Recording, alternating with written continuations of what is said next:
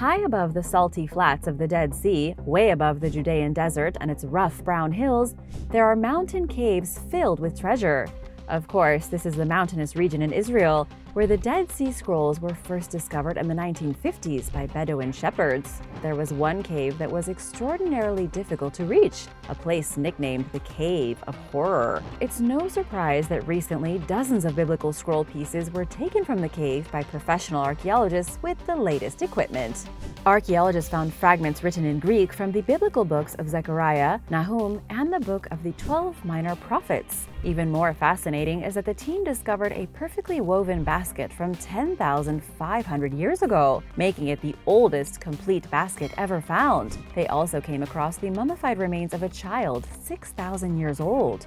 Not only was the cave used by early Jews to hide fragments of religious work, but it also appears to have been occupied by cave people.